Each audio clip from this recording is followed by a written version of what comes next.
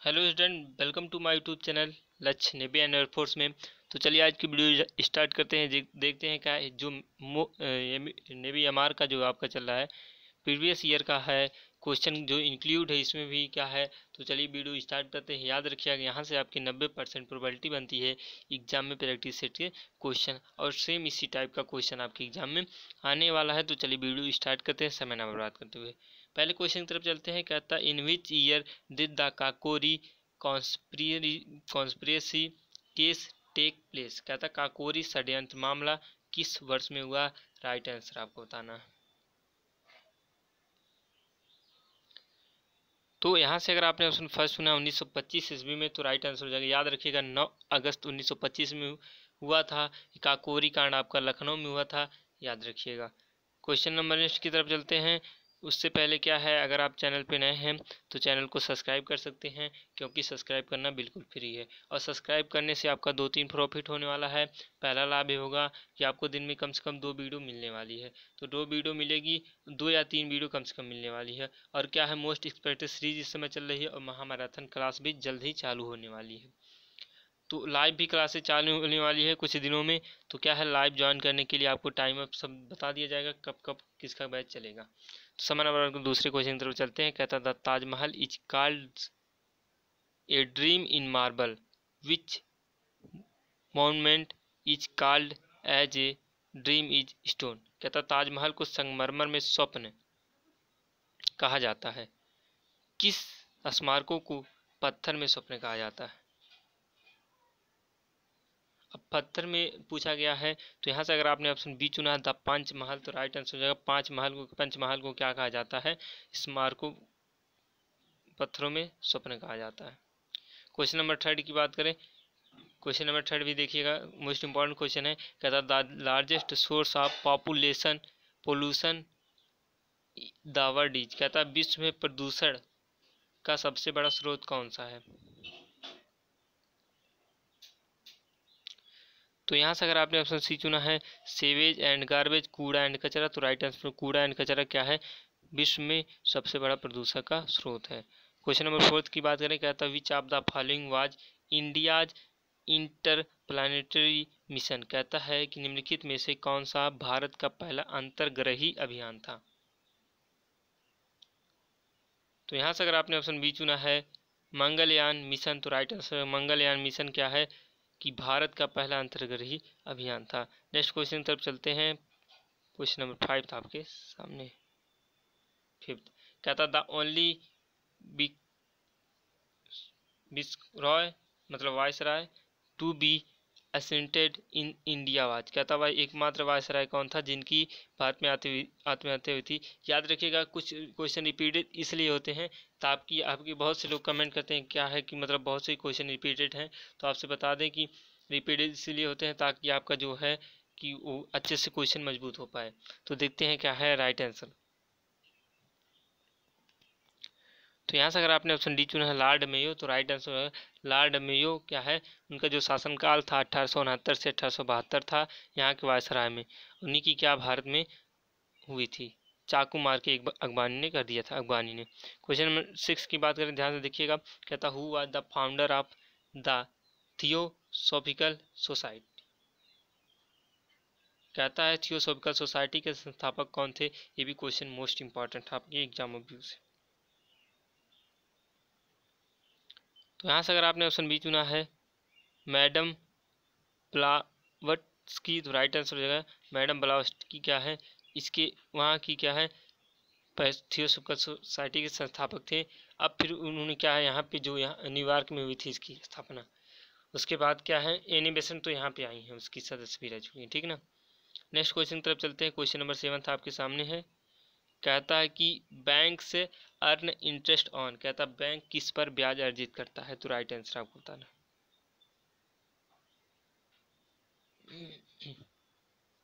तो बैंक की बात करें तो यहाँ से क्या है? अगर आपने ऑप्शन बी चुना है, ऋण तो राइट आंसर हो जाएगा। ऋण क्या है? बैंक जो है ऋण पर ब्याज अर्जित करता है, याद रखिएगा। नेक्स्ट क्वेश्चन की बात करें क्वेश्चन नंबर एट आपके सामने है। कहता who was the Rio revolutionary leader who ended his days as a swami of Ramakrishna mission कहता किस क्रांतिकारी नेता ने अपने अंतिम समय रामकृष्ण मिशन के स्वामी के रूप में व्यतीत किया था। तो यहाँ से राइट आंसर आपको बतानी है किस किसने क्या है, अंतिम में क्या है कि रामकृष्ण मिशन को स्वीकार किया था। तो यहाँ से अगर आपने ऑप्शन सी चुना है जतेंद्र नाथ बंदोपाध्याय तो राइट आंसर हो जाएगा। नेक्स्ट क्वेश्चन तरफ़ चलते हैं क्वेश्चन नंबर नाइन आपके सामने। कहता the red the red shirts movement was led by कहता, आंदोलन रेड शर्ट की अगुआ कौन थे? राइट आंसर आपको बताना है। देखिए, दो तीन क्वेश्चन रिपीटेड है, इसे घबराइएगा नहीं, क्योंकि रिपीटेड क्वेश्चन आपके आपके क्या है, पूरा अच्छे से मज़बूत हो जाएँगे। तो यहाँ से अगर आपने ऑप्शन सी चुना है, खान अब्दुल गफ्फार खान तो राइट आंसर हो जाएगा रेड शर्ट के अगुआ जो थे, Khan Abdul Ghaffar Khan option number C the right answer हो जाएगा। टेन की बात करें, कहता है A T M is the abbreviated from form of कहता है एटीएम किसका संक्षिप्त रूप है? याद रखिएगा एग्ज़ाम में आपके संक्षिप्त रूप से क्वेश्चन आती आती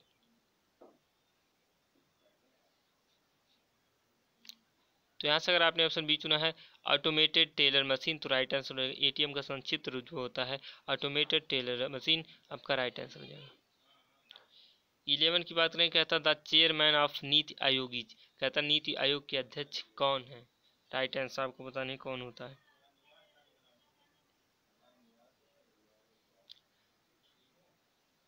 तो वहाँ से अगर आपने ऑप्शन बी चुना प्राइम मिनिस्टर तो राइट आंसर हो जाएगा।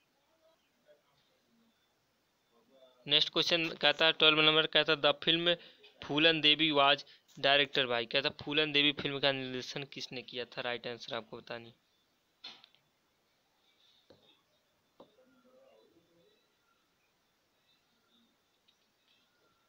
तो यहाँ से अगर क्या है, आपने सी चुना है, शेखर कपूर तो राइट आंसर हो जाएगा, शेखर कपूर क्या है? फूलन देवी फ़िल्म के निर्देशन किए थे। क्वेश्चन नंबर थर्टीन की बात करें, कहता who was known as the second founder of the Maratha empire कहता मराठा साम्राज्य का दूसरा संस्थापक किसे माना जाता है?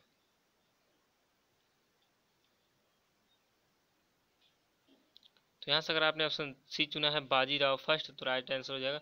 बाजीराव फ़र्स्ट क्या है? कि मराठा साम्राज्य का दूसरा संस्थापक माना जाता है।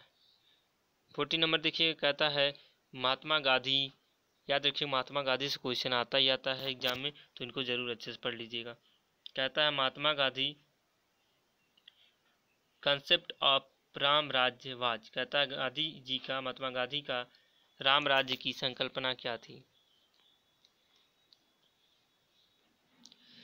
तो यहाँ से अगर आपने ऑप्शन सी चुना है कि ए स्टेटलेस सोसाइटी तो राइट आंसर हो जाएगा। राज्य विहीन समाज से क्या उनका संबंध था? राम राज्य। क्वेश्चन नंबर फिफ्टीन की बात करें, ध्यान से देखिएगा। कहता where are coins minted in India कहता, भारत में सिक्के कहाँ गढ़े जाते हैं? राइट आंसर आपको बताना मोस्ट इंपॉर्टेंट क्वेश्चन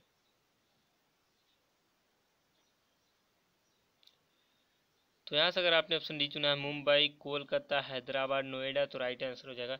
इन चारों जगह क्या है कि आपके सिक्के गढ़े जाते हैं जो अब मुंबई में कब हुई? जानते हैं, मुंबई में जो आपकी हुई थी 1830 में हुई थी, उसके बाद कोलकाता फिर कोलकाता में हुई थी 1903 में, फिर हैदराबाद में 1950 में, उन्नीस में क्या है, नोएडा में गई थी। नेक्स्ट क्वेश्चन तरफ़ चलते हैं क्वेश्चन नंबर सिक्सटीन आपके सामने।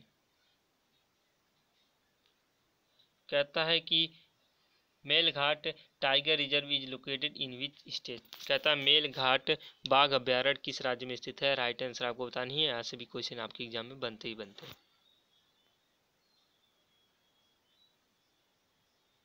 तो यहाँ से अगर आपने ऑप्शन डी चुना है, महाराष्ट्र राइट आंसर हो जाएगा। महाराष्ट्र में क्या है? मेलघाट बाघ अभ्यारण्य है, जो क्या है? अमरावती ज़िले में स्थित है और इसकी स्थापना उन्नीस सौ ईस्वी में हुई थी। फिर देखिएगा, फिर वही क्वेश्चन है। कहता है, मेलघाट टाइगर रिज़र्व तो आपको पता है ऑप्शन ए हो जाएगा राइट आंसर है ना? जहाँ की ऊपर हमने बता दिया। क्वेश्चन नंबर एटीन की बात करें, कहता the name the first Indian to win an Oscar कहता है ऑस्कर पुरस्कार जीतने वाले प्रथम भारतीय व्यक्ति का नाम क्या है? मोस्ट इंपॉर्टेंट क्वेश्चन आपके एग्ज़ाम अभ्यू से तो यहाँ से अगर आपने ऑप्शन बी चुना है भानु अथैया ने तो राइट आंसर भानु अथैया ने ऑस्कर पुरस्कार सर्वप्रथम जीता था। वो भी क्या जा, जानते हैं? नेक्स्ट क्वेश्चन तरफ़ चलते हैं देखते हैं क्या।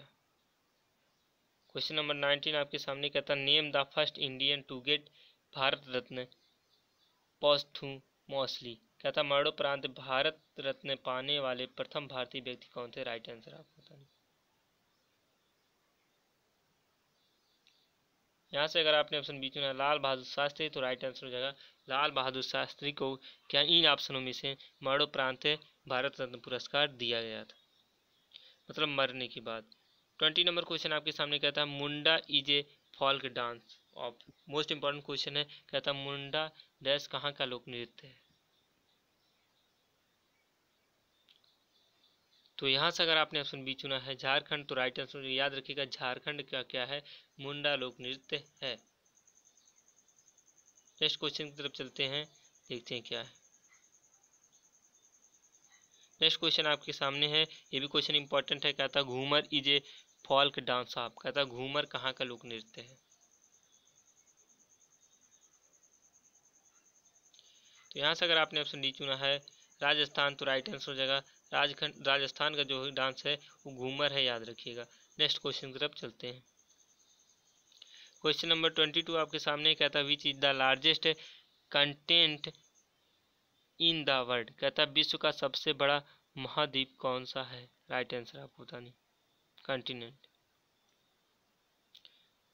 तो महाद्वीप की बात करें तो आपको पता है कि option number D, the right answer Asia आपका क्या है? कि विश्व का सबसे बड़ा महाद्वीप है। महासागर की बात करें तो प्रशांत महासागर इज़ द राइट आंसर हो जाएगा। क्वेश्चन पूछा गया है, ध्यान दीजिएगा।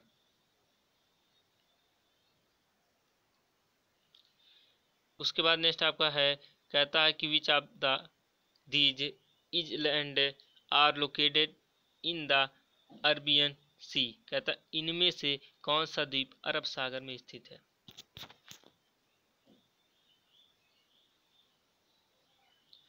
तो अंडमान, अगर निकोबार की बात करें तो ऑप्शन नंबर सी युद्ध हो जाएगा राइट आंसर लक्षद्वीप इजलैंड और अंड क्या सॉरी क्या अरब सागर की बात करें तो क्या हो जाएगा option number C Lakshadweep England और यहाँ पे क्या, ये आपका अंडमान, निकोबार है तो आपकी बंगाल की खाड़ी वाले क्षेत्र में चले जाएँगे। ट्वेंटी फोर की बात करें कहता which is the deepest train steep depression in ocean in the world कहता, विश्व की सबसे गहरी समुद्री खाई कौन सी है? राइट आंसर आपको बतानी तो यहाँ से अगर आपने ऑप्शन बी चुना मरीना गर्त तो राइट आंसर मरीना की खाई सबसे, विश्व में सबसे गहरी याद रखिएगा option number B the right answer ये भी क्वेश्चन इंपॉर्टेंट है।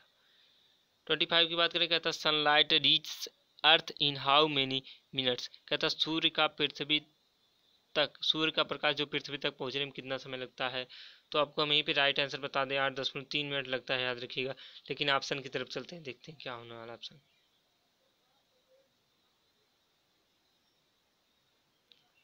हाँ तो यहाँ पे देख लीजिए ऑप्शन भी क्वेश्चन पूछा गया तो option number B the right answer हो जाएगा।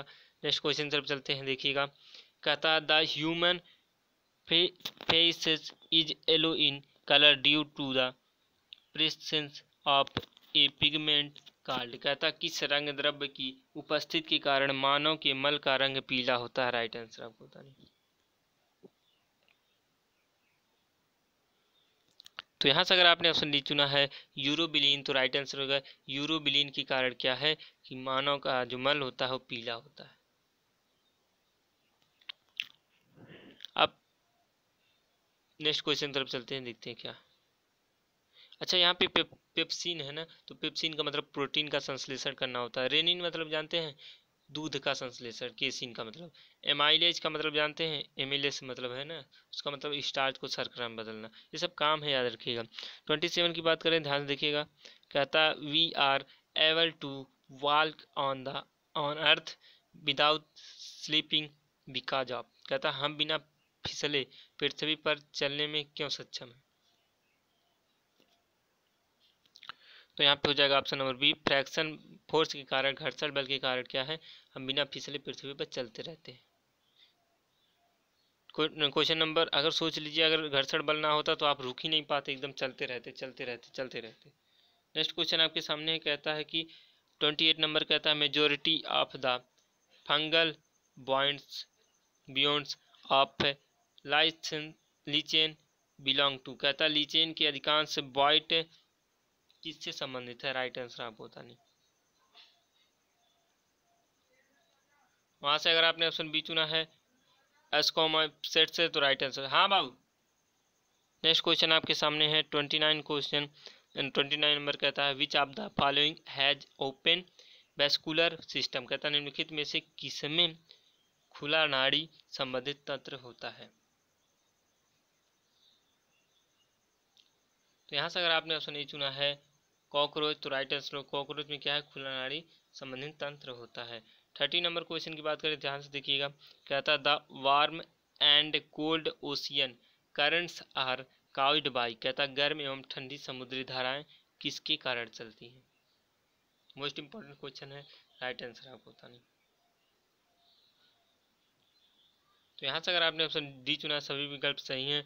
मतलब क्या है? प्रचलित हवाएँ, पृथ्वी की घूर्णन और समुद्री जल की घनत्व के परिवर्तन का है? गर्म एवं ठंडी समुद्री धाराएँ चलती रहती है। क्वेश्चन नंबर थर्टी वन की बात करें, कहता the atomic bomb is based on the principle of कहता, परमाणु बम किस सिद्धांत पर आधारित है? राइट राइट आंसर आपको बतानी तो अभी तो आपने सीखा था नापकी चलन नापकी विखंडन अब आपके सामने है नियंत्रित, अनियंत्रित। राइट आंसर यहाँ से आपको बताना तो यहाँ से अगर आपने ऑप्शन बी चुना है अनकंट्रोल्ड न्यूक्लियर फीसियन तो राइट आंसर हो जाएगा, अनियंत्रित नाप की विखंडन के कारण क्या परमाणु बम उसी पे आधारित है। थर्टी टू की बात करें कहता है कि butter is colloid form when कहता मक्खन कोलाइड कब बनाता है, कब बनता है राइट आंसर आपको बताने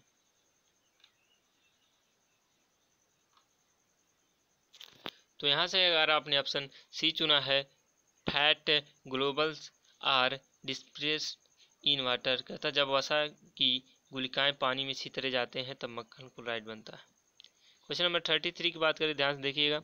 कहता है, charcoal can be made at home by burning. कहता चार कोल घर में क्या जलाकर बनाया जाता है, बनाया जा सकता है? राइट आंसर आपको बताने तो option number A the right answer हो जाएगा। कहता wood in absence of air कहता, हवा की अनुपस्थिति में लकड़ी के, लकड़ी को क्या है? चार को घर में जला, कर बनाया जा सकता है। थर्टी फोर नंबर क्वेश्चन कहता है depletion of ozone layer causes कहता है ओजोन परत के क्षरण के कारण क्या होते हैं? राइट आंसर आपको बताने तो यहाँ से अगर आपने ऑप्शन डी चुना है ब्लड कैंसर तो राइट आंसर हो जाएँगे। थर्टी फाइव नंबर क्वेश्चन कहता है smoke is a combination of कहता हूँ स्मोक किसका संयोजन है? राइट आंसर आपको बतानी। तो यहाँ से अगर आपने ऑप्शन डी चुना है स्मोक एंड फॉग तो राइट आंसर धुआँ और कोहरा का क्या है? स्मोक आपका संयोजन क्वेश्चन नंबर नेक्स्ट की बात करें थर्टी सिक्स कहता why the earth is having is on atmosphere कहता पृथ्वी का अपना वायुमंडल क्यों है? तो यहाँ से क्या है? पृथ्वी का वायुमंडल की बात की तो यहाँ पे अगर आपने ऑप्शन सी चुना है ग्रेविटी शक्ति के कारण तो राइट आंसर हो जाएगा, पृथ्वी का अपना वायुमंडल क्यों है? क्योंकि गुरुत्वाकर्षण शक्ति के कारण थर्टी सेवन की बात करें, कहता है motor skills are associated with which part of the brain कहता है, प्रेरक कौशल मस्तिष्क के कौन से भाग के साथ संबंधित है? तो यहाँ से अगर आपने ऑप्शन फ़र्स्ट चुना है फॉरेंटल लोब तो राइट आंसर जगह ललाद भाग क्या है? प्रेरक कौशल मस्तिष्क के भाग होते हैं। थर्टी एट की बात करें, कहता है which enzyme is present in the in all numbers of the animals expect protozoa कहता प्रोटोजोआ के अलावा कौन सा एंजाइम प्राणी जगत के सभी सदस्यों में मौजूद है? राइट आंसर आपको बतानी। तो यहाँ से अगर आपने ऑप्शन डी चुना है एमिलेज तो राइट आंसर होगा। एमिले क्या है? प्रोटोजोआ के अलावा ये ऐसा एंजाइम है जो प्राणी जगत के सभी सदस्यों में मौजूद होता है। थर्टी नाइन की बात करें, कहता है at boiling point of liquids its कहता, तरल पदार्थ के क्वथनांक पर क्या होता है? तो यहाँ से अगर आपने ऑप्शन सी चुना है, तापमान नियत रहता है तो राइट आंसर होगा, तरल पदार्थ के क्वथनांक पर क्या है? जो उसमें टेम्परेचर रिमेन्स कांस्टेंट होता है, हमेशा नियत रहता है। फोर्टीन नंबर की बात करें, कहता है label of atmosphere which is compose partly of electrons and positive ions is called कहता वातावरण का वह स्तर जो इलेक्ट्रॉन्स और धनात्मक आयन के कुछ अंशों के मिश्रण से बना है, क्या कहलाता है? तो यहाँ से अगर आपने ऑप्शन बी चुना है आयनोस्फियर तो राइट आंसर हो जाएगा। नेक्स्ट नंबर क्वेश्चन कहता है फोर्टी वन कहता है इफ़ टू की power two n minus one equal to one upon सोलह की पावर एन माइनस थ्री तो इसका मान क्या होगा? सिंपल क्वेश्चन है। देखो कैसे सिंपल इसको कह सकते हैं टू की power two n minus one equal to इसका हो जाएगा। यहाँ पे वन अपान टू की power four n minus twelve क्योंकि दो की पावर चार से गुणा कर देंगे। अब यहाँ पे क्या है? ए प्लस में है तो ऊपर जाएगा चेंज हो जाएगा तो माइनस में हो जाएगा तो क्या हो जाएगा? Two n minus one two से टू खत्म हो जाएगा बचेगा क्या ट्वेल्व माइनस फोर एन अब यहाँ पे ध्यान समझिएगा एन को इधर भेज देते एन को इधर भेज देते हैं और इसको इधर भेज देते हैं। क्या हो जाएगा? चार इधर हो जाएगा माइनस एक प्लस हो जाएगा, क्या हो जाएगा? चार दो छः एन छः एन इक्वल टू क्या हो जाएगा? बारह क्या हो जाएगा? तेरह और एन इक्वल टू क्या हो जाएगा? तेरह बट्टे छः एन का मान हो जाएगा।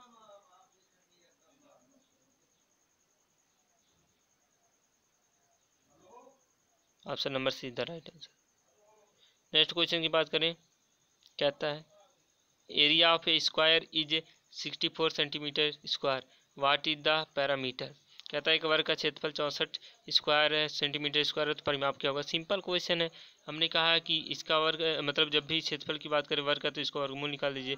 चौंसठ का वर्गमूल क्या होगा? आठ होगा। लेकिन परिमाप की बात करें तो चार होता है तो चार गुड़ी भुजा होता है, चार अट्ठे बत्तीस सेंटीमीटर। बत्तीस सेंटीमीटर आपका option number D is the right answer हो जाएगा। कहता है कि if sine A equal to one upon two then cos two A is. कहता है यदि साइन ए इक्वल टू एक बटे दो है तो cos two A simple question है। ये देखिए साइन कितने अंश का मान होता है? साइन थर्टी अंश का मान होता है। तो थर्टी में टू से मल्टीप्लाई कर दीजिए, कॉस सिक्सटी का मान हो जाएगा। कॉस सिक्सटी इक्वल टू होता है one upon two option number C the right answer forty four कहता है इफ़ ए अनुपात है B A ratio B equal to two ratio three comma B ratio C equal to three ratio five then A ratio C is कहता है यदि A upon B equal to दो बटे तीन एंड बी अनुपात C equal to three अनुपात five तो C ए अनुपात सी ए अनुपात सी इक्वल टू क्या हो जाएगा? ध्यान से देखिएगा। कहता है ए बटे बी मल्टीप्लाई बाई बी बटे सी बी से बी खत्म हो जाएगा ए और सी की वैल्यू ए की वैल्यू दो है और सी की वैल्यू पाँच है। तो दो बटे पाँच आपके ऑप्शन नंबर डी दिख रहा है option number D the right answer हो जाए फोर्टी फाइव की बात करें, कहता है if A minus two is a factor of A square minus seven A plus two K find the value of K simple question है। जब इसका एक गुणनखंड है तो इसके बराबर क्या हो जाएगा? A minus two equal to zero और ए बराबर क्या हो जाएगा? टू अब ए बराबर टू हो जाएगा, यहाँ से वैल्यू रखते हैं। ए का वर्ग है तो मतलब चार माइनस सात दून, सात दूना चौदह प्लस टू के है ना? अब देखिएगा इक्वल टू क्या हो जाएगा? ज़ीरो अब चार में से चौदह घटाएँगे माइनस दस। प्लस टू के और क्या हो जाएगा? ए उधर चला जाएगा तो प्लस टेन इक्वल टू क्या हो जाएगा? टू के हो जाएगा? और दो से खाद देंगे की वैल्यू जो दो पच्चे दस हो जाएगी। Option number D the right answer हो जाएगा। नेक्स्ट क्वेश्चन की बात करें क्वेश्चन नंबर फोर्टी सिक्स कहता है condition for two perpendicular perpendicular lines कहता है, दो रेखाओं के परस्पर लंबवत होने की शर्त क्या होगी? सिंपल क्वेश्चन है। तो option number B the right M one multiply by M two equal to होता माइनस वन याद रखिएगा। नेक्स्ट क्वेश्चन की बात करें फोर्टी सेवन क्या था? इफ़ है under three equal to one point seven three two then the value seven upon two plus इतना का मान क्या होगा? तो सेवन अपान कर दीजिए, दो में जोड़ दीजिए, दो एक तीन दशमलव सात तीन, दो हो जाएगा। अब इसको भाग दे दीजिए। तो भाग देंगे आप। तो यहाँ पे जो वैल्यू मिलने वाली है, वो मिलने वाली है एक दशमलव आठ सात छः आपका राइट आंसर हो जाएगा। फोर्टी एट की बात करें, कहता solve the inequation inequation two x minus one छोटा है नाइन से। सबसे सिंपल क्वेश्चन है तो टू एक्स क्या हो जाएगा?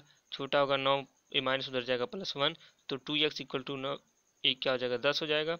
और एक्स इक्वल दो से काट दीजिए एक्स आपका क्या है? बड़ा होगा पाँच से अब देखिएगा एक्स जब छोटा होगा पाँच से तो यहाँ पे जो वैल्यू मिलने वाली समुच्चय में पाँच से छोटी सारी वैल्यू मिलेंगी। तो पाँच से छोटी कौन कौन सी है? ज़ीरो, एक, दो, तीन, चार। आपका आसान नंबर ये हो जाएगा right answer question number forty nine की बात करें कहता है if one side of a equilateral triangle is twelve under three centimetre then what will be it area कहता है यदि एक संभाव त्रिभुज एक भुजा बारह अंडर तीन सेंटीमीटर की है तो उसका क्षेत्रफल क्या होगा? संभाव का है तो संभाव का क्षेत्रफल आपसे पूछा गया है। मतलब भुजा की वैल्यू है तो क्षेत्रफल अंडर तीन पान फोर भुजा स्क्वायर होता है तो भुजा बारह अंडर तीन गुड़े बारह अंडर तीन हो जाएगा। अब ध्यान से समझिएगा सबसे सिंपल है, चार से काट दीजिए, तीन बार जाएगा और इसका मान दोनों का क्या होने वाला तीन, और क्या हो जाएगा, बारह अंडर तीन। तो यहाँ पे तीन तरीका नौ नौ, बारह, नवा, एक सौ आठ, एक सौ आठ अंडर तीन कहाँ पे है option number D the right answer हो जाएगा। फिफ्टी नंबर पर बात करें, क्या था? इफ़ टेन मैन और eighteen boys can complete work in fifteen days then in how many days twenty five man and fifteen boys can complete the same piece of work कहता है यदि दस आदमी या अट्ठारह लड़की किसी काम को पंद्रह दिन में समाप्त कर सकते हैं तो कितने दिनों में पच्चीस आदमी या पंद्रह लड़की उसी काम को? सिंपल क्वेश्चन है। अब बात करें टेन मैन मतलब मैन की मल्टीप्लाई कितने दिन में कर रहे हैं? पंद्रह दिन में, वहीं कर रहे हैं अट्ठारह बॉय इसी काम को भी पंद्रह दिन में समाप्त कर गए हैं। तो अब यहाँ से देखिएगा, बीस यहाँ से मल्टीप्लाई कर, यहाँ पे यहाँ से पंद्रह से पंद्रह खत्म हो जाएगा, और इसको तोड़िए तो क्या हो जाएगा, पाँच, यहाँ पे हो जाएगा नौ। और एम अनुपाते बी क्या होने वाला है? नौ अनुपाते पाँच होने वाला है। अब यहाँ पे नौ रेशियो पाँच हो गया, यहाँ बी की। अब यहीं पे बात करें कि इसका तो यहाँ पे निकालेंगे। बॉयज़ की तो पंद्रह, पच्चीस आदमी और पंद्रह बॉय की बात करें तो यहाँ से रख दीजिए वैल्यू तो पच्चीस, ध्यान समझिएगा, पच्चीस मतलब मैन की कितनी वैल्यू आई है? नौ इफिशेंसी प्लस क्या आई है? प्लस है बॉय की आई है पंद्रह पंद्रह मल्टीप्लाई बाई आपका फाइव हुआ था, है ना? अब यहाँ पे इसको हल करते हैं तो यहाँ पे हल करेंगे मल्टीप्लाई बाई क्या करेंगे? एक्स से। ध्यान समझिएगा पच्चीस एम है ना? तो यहाँ से सबसे सिंपल क्वेश्चन है, पच्चीस एम कर लीजिए। प्लस पंद्रह बार यही बातें कर रहे हैं ना? मल्टीप्लाई बाई एक्स कितने दिन में करेंगे? एक्स इज़ इक्वल टू क्या है? अट्ठारह बॉय मल्टीप्लाई बाई पंद्रह। अब यहाँ से हम इसको हल करेंगे। तो हम पूरे अच्छे से तोड़ते हैं तो देखेंगे कि हमको मिलेगा।